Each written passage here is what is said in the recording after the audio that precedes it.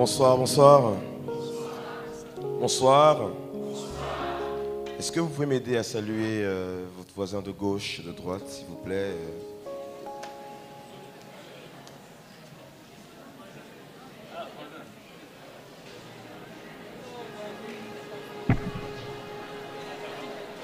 On n'a pas eu le temps de le faire la journée ou encore quand on est arrivé. euh, Profitons-en.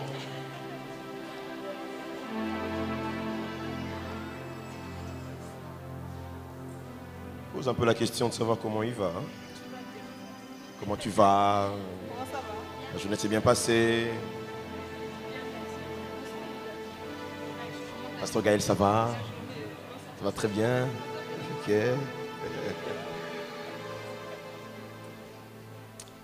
Amen, amen. Ça m'a toujours fait bizarre quand on me présente. hein. Ça me fait bizarre. Pasteur David, voilà, voilà, voilà.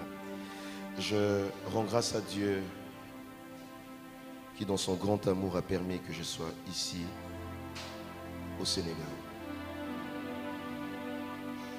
Je rends grâce et je remercie plutôt le pasteur Félix. Ce n'est pas facile, ce n'est pas, ce n'est pas facile de céder cette chair, cette estrade à une personne qu'on ne connaît pas très bien. Et pour moi, c'est un grand privilège et un grand honneur. Et je le prends plutôt aussi comme une grande responsabilité parce qu'apporter la parole au peuple de Dieu, c'est une grande et grosse responsabilité. Je l'avais- fait le dimanche dernier, euh, beaucoup n'étaient pas là et lui-même n'était pas là. Euh, je remercie aussi le pasteur Laude, qui a été le canal par lequel, euh, un grand canal par lequel je me tiens devant vous ici en train de parler. Certainement qu'il a, dû dire deux mots au pasteur Félix pour que je, je me tienne ici devant, mais à part le pasteur Laude, j'aimerais également dire au pasteur Gaël merci. C'est parce que j'ai reçu son invitation que j'ai pu avoir le visa pour le Sénégal. Est-ce qu'on peut acclamer encore le Seigneur pour ces merveilleuses personnes?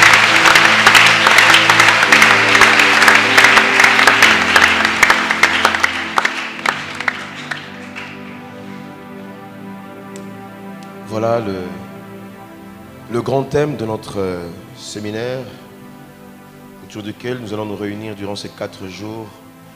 Vous le voyez, c'est écrit très bien là. Le grand thème, c'est la dimension prophétique de ta croissance illimitée avec comme sous-thème la main de l'éternel. Pour Bethel, ce thème, je crois qu'il il est, c'est le thème de l'année. C'est le thème de l'année, certainement qu'on a eu à l'exploiter de plusieurs manières. Je dirais même que ce thème aujourd'hui ressemble à, une orange pressée. Tellement qu'il a été exploité par la grâce de Dieu. Son serviteur, le pasteur Laude, ainsi que moi, nous allons, nous allons essayer de vider ce thème de son contenu pour la gloire de Dieu et le grand bonheur de son peuple que vous êtes. Alléluia. Ainsi, je dirais le sous-thème, le sous-thème du sous-thème, permettez-moi, répétition, ou encore le thème de ce soir s'intitule Horeb n'est pas le terminus. Horeb n'est pas le terminus. Nous allons ouvrir nos Bibles lire le livre de Deutéronome chapitre 1er, du verset 6 au verset 8e. Nous aurons trois portions d'écriture. Nous allons également lire Exode chapitre 3, le verset 8. Et nous lirons enfin Exode chapitre 19, le verset 15 au verset 20. Je répète pour ceux qui écrivent. Deutéronome chapitre 1er, le verset 6 au verset 8. Exode chapitre 3, le verset 8e. Et puis Exode chapitre 19, du verset 15 au verset 20. La Bible dit ceci, première, lecture. L'Éternel notre Dieu nous a parlé à Horeb en disant, Vous avez assez demeuré dans cette montagne. Tournez-vous et partez. Allez à la montagne des Amoréens et dans tout le voisinage, dans la plaine, sur la montagne de la vallée, dans le Midi, sur la côte de la mer, au pays des Cananéens et au Liban jusqu'au grand fleuve, au fleuve d'Euphrate. Voyez, j'ai mis le pays devant vous. Allez, prenez possession du pays que l'Éternel a juré à donner à vos pères, Abraham, Isaac et Jacob, et à leur postérité après eux. Exode chapitre 3.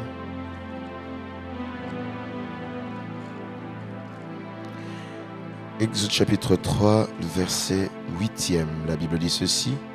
Je suis descendu pour le délivrer de la main des Égyptiens et pour le faire monter de ce pays dans un bon et vaste pays, dans un pays où coule le lait et le miel, en les lieux qu'habitent les Cananéens, les Essiens, les Amoréens, les Phérésiens, les, Éviens, excusez-moi, les Jubétiens. Nous finissons par Exode chapitre 19, verset 15 au verset 20. La Bible dit, et il dit au peuple, soyez prêts dans trois jours.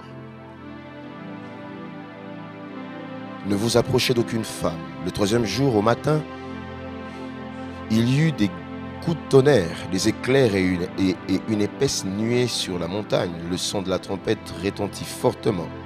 Et tout le peuple qui était dans le camp fut saisi d'épouvante. Moïse fit sortir le peuple du camp à la rencontre de Dieu. Et ils se placèrent au bas de la montagne. Le mont Sinaï était tout en fumée parce que l'Éternel y était descendu au milieu du feu. Cette fumée s'élevait comme la fumée d'une fournaise. Et toute la montagne tremblait avec violence. Le son de la trompette retentissait de plus en plus fortement. Moïse parlait et Dieu lui répondit à haute voix. Ainsi l'Éternel descendit sur la montagne, sur le mont Sion, sur le sommet de la montagne. L'Éternel appela Moïse sur le sommet de la montagne et Moïse monta. Est-ce qu'on peut acclamer pour la parole?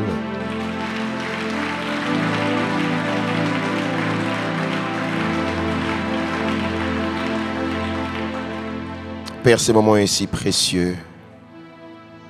Ces moments sont importants. Moment où nous voulons nous taire et t'écouter toi? Je te prie ce soir, ô Dieu, comme un simple instrument, utilise ton serviteur, afin qu'il communique fidèlement ta pensée et qu'il atteigne tes objectifs. Au nom de Jésus, nous avons ainsi prié. Amen. Amen. Est-ce qu'on peut encore acclamer, s'il vous plaît, le Seigneur?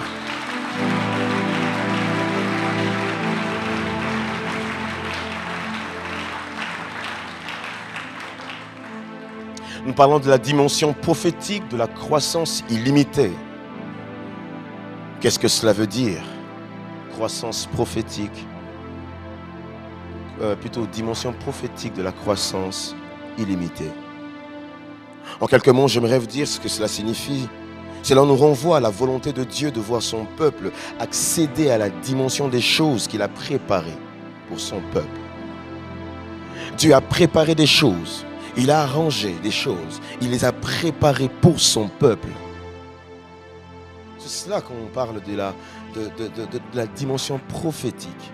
Mais cette dimension prophétique, selon le thème, parle des choses que je dis préparées. Mais qu'est-ce qui a été préparé? C'est une croissance. Nous, parlons, nous parlerons de la croissance durant ce séminaire. Mais ce que j'aime avec cette croissance, c'est qu'elle est assez particulière. C'est une croissance qui est illimitée. Elle est illimitée. Pourquoi? Simplement parce qu'elle porte la nature de celui qui l'a initiée. Elle porte la nature de celui qui la veut. Celui qui la veut, elle la veut illimitée parce que lui-même est un Dieu qui travaille dans cette dimension-là. Alléluia. Une dimension illimitée parce que lui-même est illimité. J'aimerais dire à quelqu'un ce, ce soir, c'est ta connaissance de Dieu qui déterminera les limites de Dieu dans ta vie. Dans Isaïe, Dieu dit, élargis l'espace de ta tente, n'est-ce pas? C'est lui qui élargit l'espace de la tente, ce n'est pas Dieu, mais c'est toi. C'est à toi d'élargir l'espace de la tente et c'est à lui de combler cet espace élargi. Mais c'est la connaissance de Dieu Ou encore, je dirais mieux, que la connaissance que tu as de Dieu déterminera l'élargissement que tu fais de ta tente. Alléluia. Permettez-moi de définir en quelques mots, en quelques minutes, pardon, le mot croissance, afin que cela nous permette de mieux comprendre la suite. Quand on parle de croissance, frères et sœurs, on fait allusion à l'action de grandir ou encore de croître. Quand on parle de croissance, on fait allusion à augmenter ce qu'il y avait. On parle de peu pour beaucoup. Quand on parle de croissance, on voit également le fait de se développer, le fait de se propager. On fait allusion également à l'expansion et à l'extension. Alléluia. Et quand on parle de l'expansion, on parle du développement. Cela fait allusion également à la multiplication et à la reproduction. Durant ce séminaire, j'aimerais dire à quelqu'un que Dieu veut te multiplier. Dieu veut te reproduire. Alléluia. Dieu veut te rendre important, mais surtout influent. Alléluia. Alléluia. Dieu veut que nous quittions un niveau bas pour des choses bien plus grandes. Ce sont ces choses qu'il a préparées pour son peuple. Alléluia. Dans le texte de Deutéronome que nous avons lu, frères et sœurs, Moïse parle au peuple. Ils veulent traverser le Jourdain pour, entrer, euh, euh, euh, pour accéder justement à la terre promise. Mais il fait comme un rappel d'un épisode de la marche d'Israël. Dans Deutéronome chapitre 1 verset 6, il leur dit, quand nous étions encore à Horeb, Dieu nous a dit une chose. Vous avez assez demeuré sur cette montagne. Alléluia. Dans Exode chapitre 3, le verset 8, quand, Moïse rencontre Dieu à la buisson ardente, Dieu lui donne, Dieu lui dit ce qu'il doit faire. Il dit, j'ai vu ce que Égypte fait subir à mon peuple. Son cri est parvenu jusque vers moi. Alors Moïse, je te suscite en te donnant un itinéraire. Vous sortez d'Égypte. La destination, c'est un, bon et vaste pays où coule le lait et le miel. Dieu définit les choses. Nous quittons l'Égypte pour la terre promise. Alléluia. C'était ce que Dieu a demandé à Moïse de faire. Ce qui est bizarre, à un moment, dans la marche, ils, arrivèrent à, Horeb, ils campèrent pendant un temps. Dieu, c'est Dieu qui l'avait permis. Dieu a permis dans la marche qu'ils s'arrêtent là à Horeb. Mais qu'est-ce qui signifie Horeb, frères et sœurs? Horeb signifie simplement sécheresse et désert toute la région autour d'Oreb, qu'on appelle aussi le mont Sinaï, est une région désertique, stérile et très peu attirante. Mais Dieu a permis qu'il reste là. Frères et sœurs, dans la vie, dans le chemin, dans le chemin de la vie, ou encore dans notre marche avec Dieu, il permettra à un moment donné que tu passes par le désert. Mais le désert dans lequel Dieu te fait passer a un but. À chaque fois que Dieu te fait passer par le désert, frères et sœurs, le but du désert n'est pas de te punir, mais c'est un lieu où Dieu se révèle à toi afin que tu le connaisses mieux et différemment. Il arrive un moment que nous passons par, le désert, qui est aussi synonyme de moments difficiles, mais cela a pour but de se révéler à nous. En étudiant les Écritures, j'ai compris que le désert est un lieu où Dieu se manifeste le plus. Alléluia. Mais ce qui est bizarre avec Horeb, frères et sœurs, Horeb est un lieu, est une montagne, certes désertique, mais Israël vit des moments assez particuliers avec Dieu à Horeb. Certes, un lieu désertique, mais Dieu manifeste sa puissance de telle sorte que Israël est étonné, surpris de voir leur Dieu opérer ce genre de choses. Horeb, frères et sœurs, c'est le lieu où Israël a reçu la loi. Dieu s'est manifesté. Malachie chapitre 4, verset 4 nous le dit. Souvenez-vous de la loi de Moïse, mon serviteur, auquel j'ai prescrit en Horeb pour tout Israël des, préceptes et des ordonnances. Horeb était le lieu où Dieu a donné à son peuple la loi.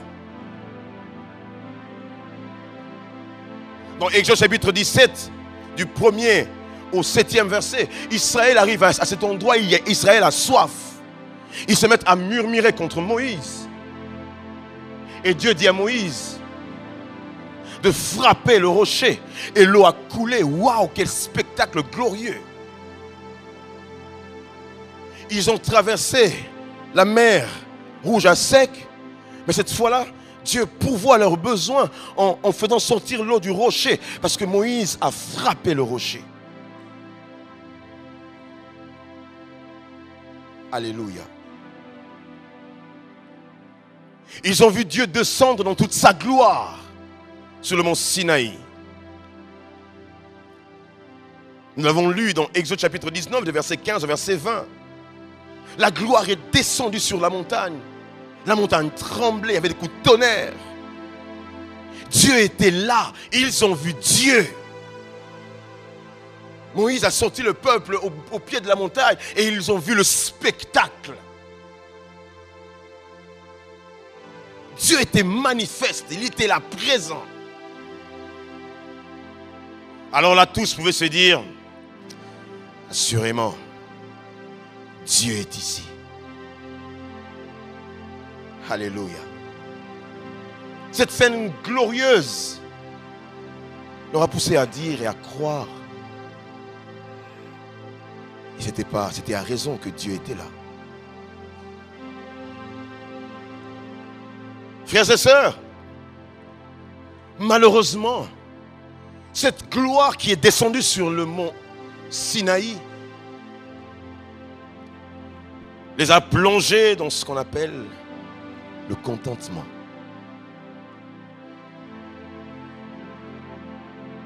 Ils tombèrent tous dans le contentement. C'est là que Dieu s'est manifesté. Donc Dieu est là. Quand ils ont vu tout ce que Dieu a fait, ils se disent, ah non, nous devons rester ici. C'est là que Dieu se trouve. Ils tombèrent tous dans le contentement. Qu'est-ce donc le contentement? Le contentement est le fait de se satisfaire de ce que l'on a. Le contentement, frères et sœurs, c'est le, fait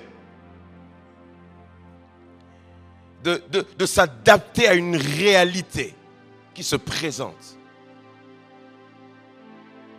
C'est le fait de s'adapter à des choses, combien même elles ne répondent pas à nos attentes.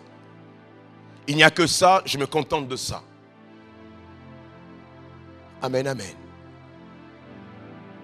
Combien de fois, frères et sœurs, nous contentons-nous de ce que nous avons? Aujourd'hui, je ne viendrai que poser les fondements et plus je parle, plus je sens qu'on doit prier ces choses. Le danger du contentement, frères et sœurs, est qu'on s'arrête. On n'avance plus. On se suffit de ce qu'on a. Ce que j'ai me suffit.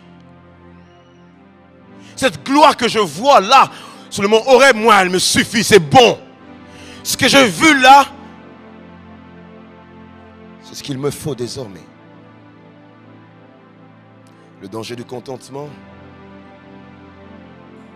c'est qu'il nous empêche de voir au-delà de ce qu'on doit réellement recevoir. Amen, amen, amen. Au regard de tout ce qu'Israël avait vu Dieu accomplir,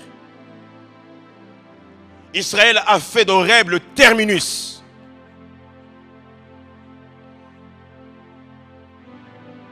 Au départ, quand Dieu parle à Moïse, il dit Moïse, vous quitterez Égypte. La destination finale, c'est la terre promise. Le pays, le bon vaste pays où coule le lait et le miel. Mais quand ils voient la gloire de Dieu se manifester à Horeb, ils en font un terminus. Il s'arrête là. Combien de fois, Église, nous faisons du minimum que Dieu nous présente un maximum. On se satisfait de ce que Dieu nous a donné. J'aimerais dire à quelqu'un ce soir, ce que tu vis n'est pas le maximum, ce n'est que le minimum.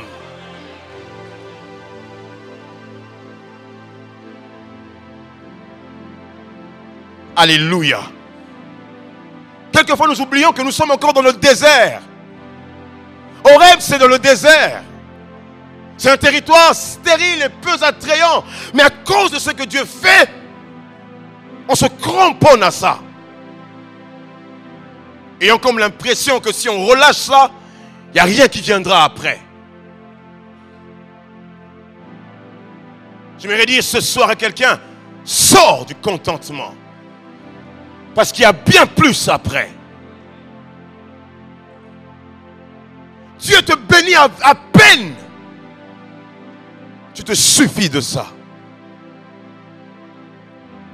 J'aimerais te dire que ce que tu as n'est que très peu à comparer à ce que Dieu a préparé pour toi.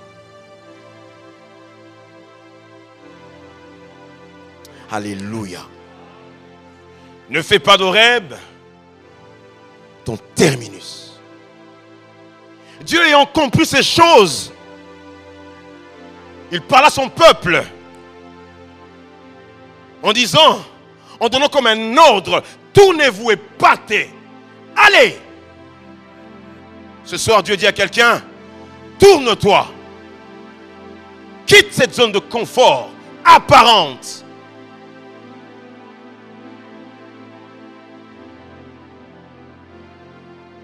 Alléluia. Ne sois pas comme tout le monde.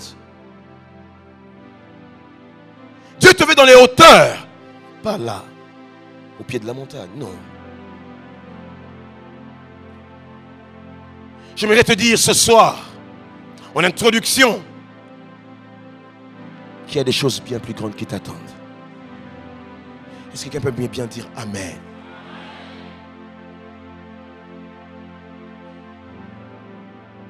Aujourd'hui, frères et sœurs, même l'Église est tombée dans le contentement. J'en ai presque parlé. J'en ai parlé le dimanche dernier. L'église s'est arrêtée. La marche de l'église à un moment donné s'est arrêtée. Aujourd'hui, quand tu sais réunir à peine 200, 300, 500 personnes, pour toi c'est le top. Bethel qui t'a dit que Dieu a fini avec toi. Bethel qui t'a dit que tu as atteint le sommet? Bethel qui t'a dit que tu es au top? Qui t'a dit? Le confort dans lequel tu te trouves? C'est ce confort justement qui nous empêche même d'aller vers les âmes et les gagner. Parce qu'on se dit, bon d'accord, on est, ça va, j'ai une grande église, tout va bien. J'ai pris dans une belle église. Même l'Église est tombée dans le contentement.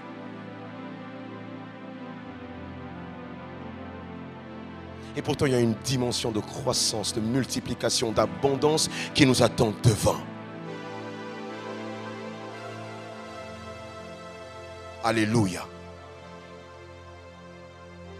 Tu veux voir la main de Dieu? Sors de là où tu es. Tu veux voir la main de Dieu?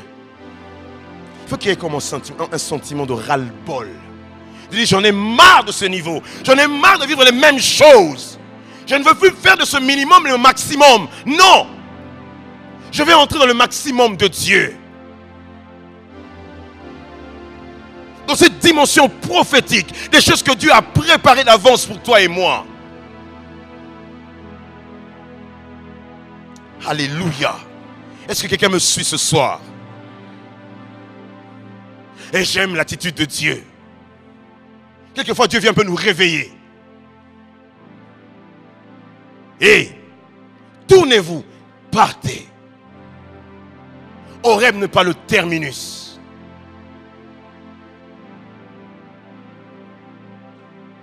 Ce travail que tu as n'est pas le terminus. la dimension de la foi que tu as n'est pas le terminus. Ce don que tu as n'est pas fini. Tu n'as pas fini avec toi.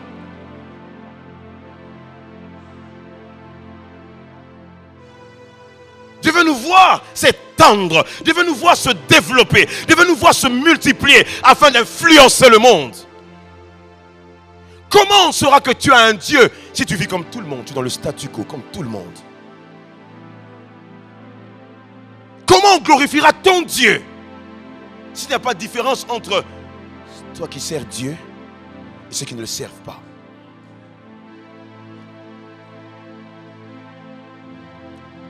Comment les musulmans qui sont dehors sauront que tu as un Dieu? Si tu restes dans, ce niveau-là Tu es comme eux, tu souffres comme eux, tu pleures comme eux. Il faudrait qu'il y ait une différence afin qu'ils disent, mais comment tu fais pour être, pour être à ce niveau-là? Tu pourras lui parler de ton Jésus. Je le suis non pas par, je, je le suis non par moi-même, mais c'est Jésus qui a fait de moi ce que je suis. Il, faut que, il faudrait que Dieu nous multiplie afin qu'on témoigne de sa grandeur. Alléluia.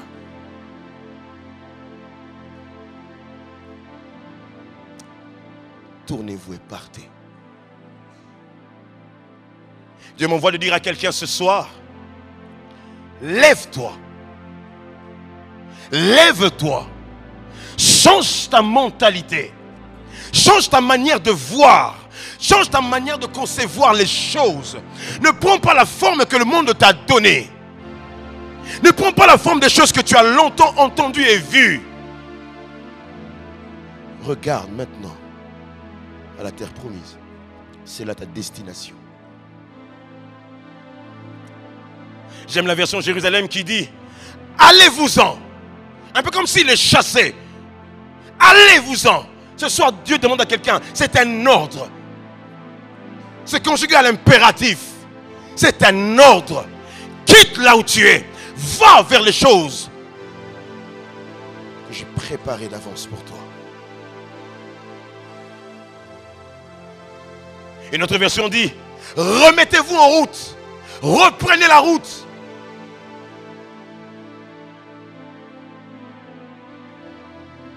Savez, ce que tu as vu à Horeb, c'était simplement pour que tu aies confiance en Dieu.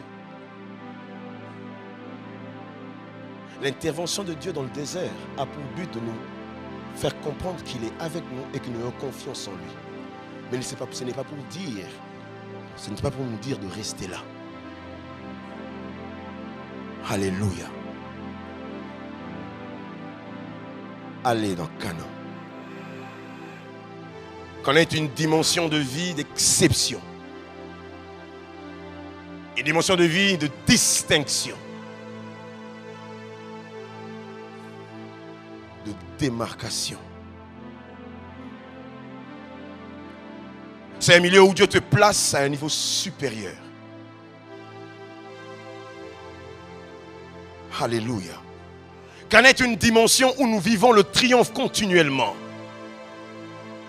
la victoire, notre pain quotidien.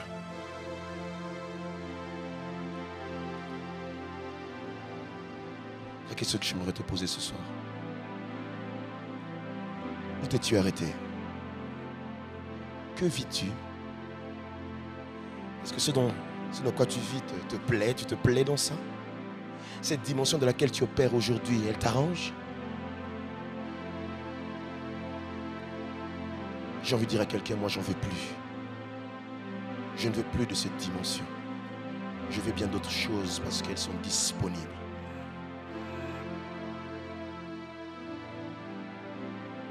Alléluia. Je vais terminer par là et puis nous allons prier.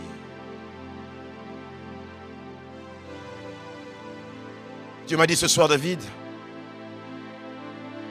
les forteresses et les raisonnements doivent tomber les forteresses et les raisonnements doivent tomber. Parce que plusieurs chrétiens confessent des choses. Écoutez, ce que l'on dit n'est pas forcément ce que l'on pense. Amen, amen. Je peux dire, Pasteur Lodge, je t'aime beaucoup, mais dans mon cœur, c'est autre chose. Or, très souvent, l'homme devient ce à quoi il pense. La Bible ne dit-elle pas que ce que je crains, c'est ce qui m'arrive? Elle dit parce que j'ai dit, c'est vrai, la parole a un pouvoir, mais ce que je crains, c'est ce qui m'arrive. Plusieurs. Alors que je prêche et je te dis, oui, le pasteur a raison, mais comme des, il y a comme des forteresses qui ont placé en nous comme des limites. Tu n'arrives pas à projeter ta vie en grand te contentant de ce que tu as pu voir et entendu.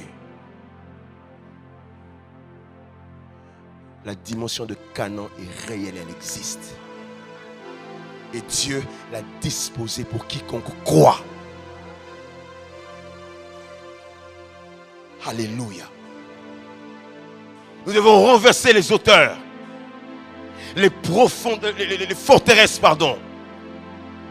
Comme ce que 2 Corinthiens chapitre 10, le verset 5 nous dit, qui s'élève contre la connaissance de Dieu. Qu'est-ce donc cette connaissance de Dieu? C'est de savoir ce qu'il a justement préparé pour toi. Ces bonnes choses qu'il a disposées pour son peuple.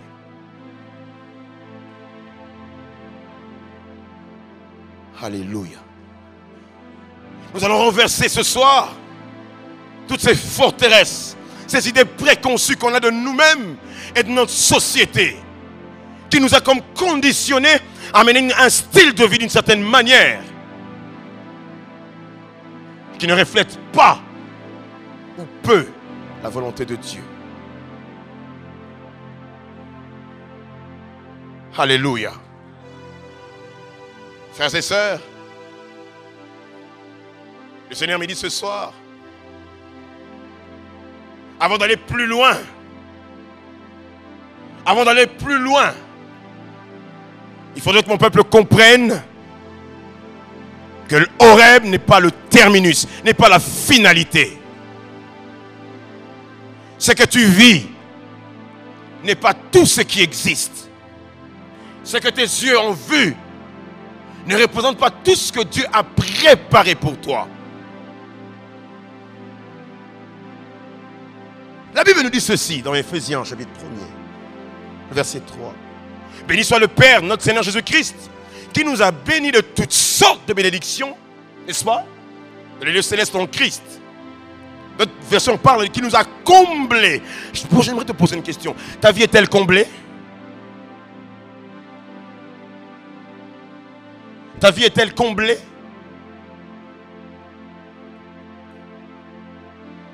Et pourquoi? Nous ne palpons pas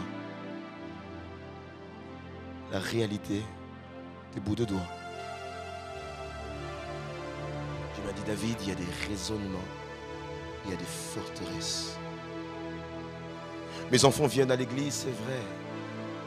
Nous chantons les louanges. Le Dieu impose, le Dieu qui fait l'impossible. Rien n'est impossible à Dieu. Ok, d'accord. Regardez dans quoi nous sommes.